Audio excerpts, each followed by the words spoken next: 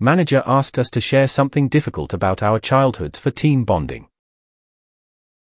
What ensued was deeply uncomfortable. One co-worker sobbed while sharing that her father molested her when she was a toddler. Another shared that her mother died of cancer. It's one thing to gradually learn more about someone over time. It's another thing to force trauma bonding. I don't need to know the depths of someone's past experiences to work well with them. It's a workplace. Not a family. Worst. Icebreaker. Ever. UG. I'm a teacher and I've experienced this too. Like, I love that schools are becoming trauma informed and helping kids with emotional regulation, but the professional development time used to teach us about this stuff should not include making us talk about our personal family trauma. Just tell me what I need to know for my job and I'll talk about my trauma W my therapist. This is extremely inappropriate. I don't know why any manager thinks this is a good idea. I would refuse. Some people who have deeply fucked up childhoods or who grew up in extreme poverty don't always realize that some of their funny stories are deeply fucked up or horrifying to people who didn't live that way. Like someone I know who was like when I was six, I got woken up by my mom fucking a random dude with a glow in the dark condom on my bed because I fell asleep on the floor. The correct reply would be no, this is inappropriate in a professional business setting. Later in life, I realized that you don't have to tell the truth in these situations. Due to the power imbalance, the manager is 100 responsible for the fallout. I would high five the employees who ran with it, TBH. Hopefully, the manager learned their lesson. I would have started telling the aristocrats joke. My manager once gathered all of the employees and asked us to trauma dump on each other for 30 minutes and then forced us to go back to work with a smile on our face.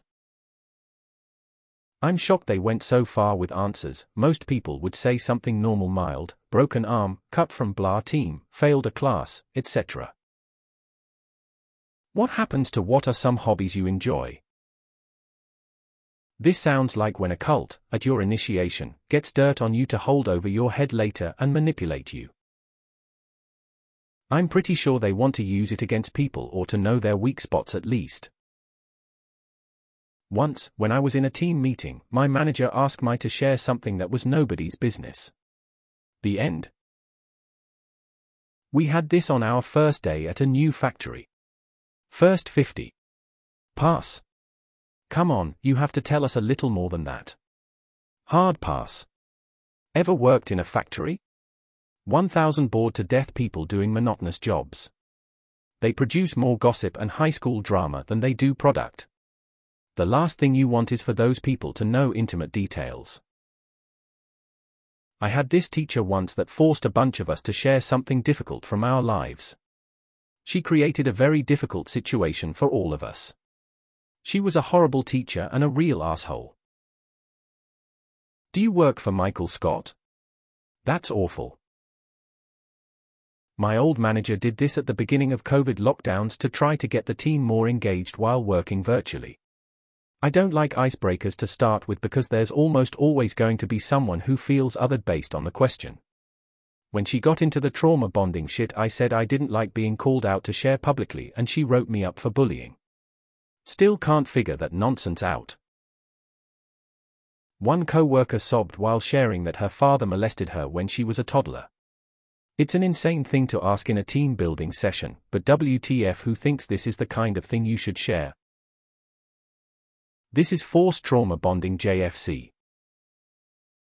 Well, there was this one time my mom had a bunch of her friends over and she brought me to her group and asked me to describe something upsetting that had happened to me to this bunch of strangers.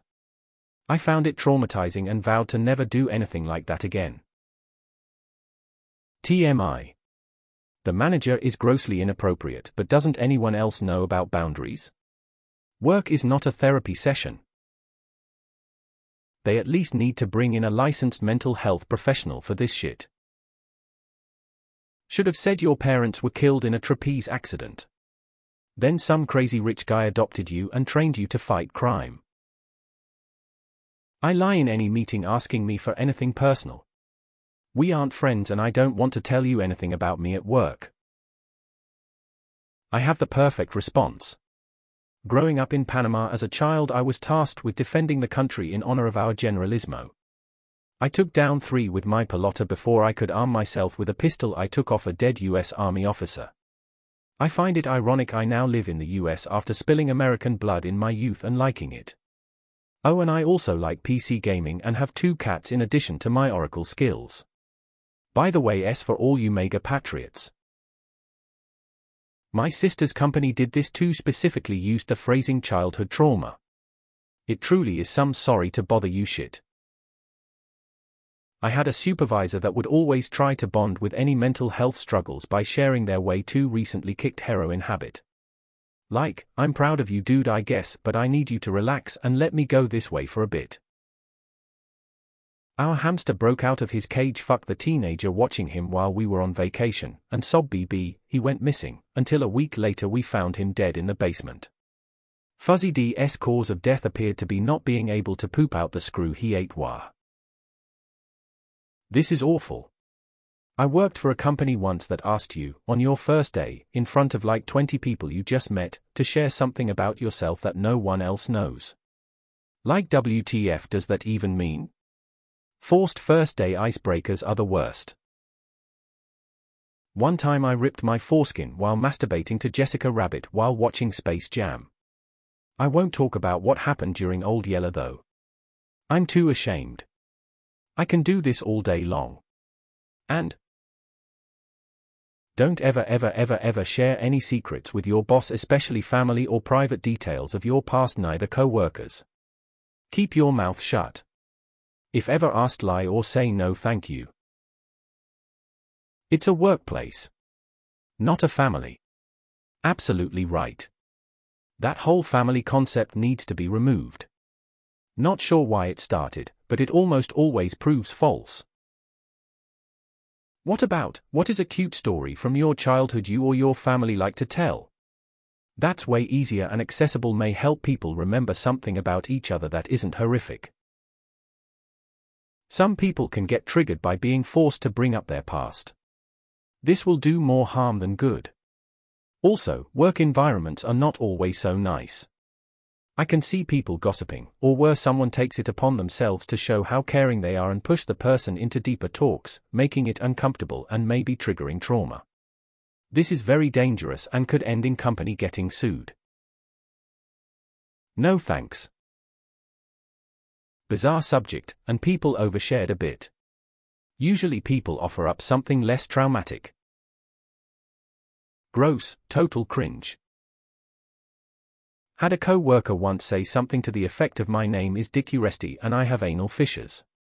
His name was Jared.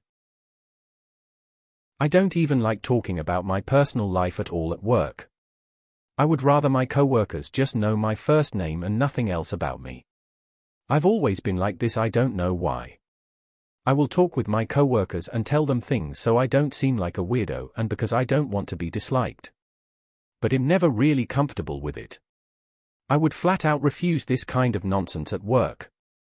It's a workplace. I would have recited a time when our boss Bernie was dead and we had to take him around with us. I bet the manager wasn't expecting people to open up so deeply. I'm sure the expectation was I had to work my way through college or my parents were divorced. Why anyone would choose to share the specific examples is beyond me. Is your boss Michael Scott? I had a teacher that tried this in the 70s. Everyone just made up something silly. It ended pretty quickly when the teacher realized we weren't stupid enough to give other students something to taunt us with. When I was a child, my father died in a team bonding exercise. He was supposed to do a trust fall and nobody caught him, crushing his skull. When they ask you if you're serious, go on the offensive and say that they are belittling your trauma and then complain to HR. This sounds like it could have been a fairly awesome malicious compliance. Wasn't that what they did at an NXIVM cult? They used it to blackmail the members in the future. I would have declined.